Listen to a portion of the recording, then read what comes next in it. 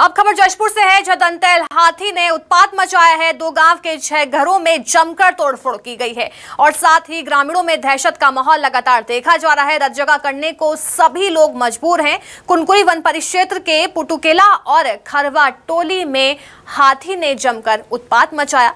हालाँकि इस पूरे मामले में वन विभाग ने भी किसी तरह का संज्ञान नहीं लिया है। देखिए किस तरह से यहाँ पर घरों को नुकसान हाथी ने पहुँचाया, जिसके बाद से लगातार लोगों में डर का माहौल है।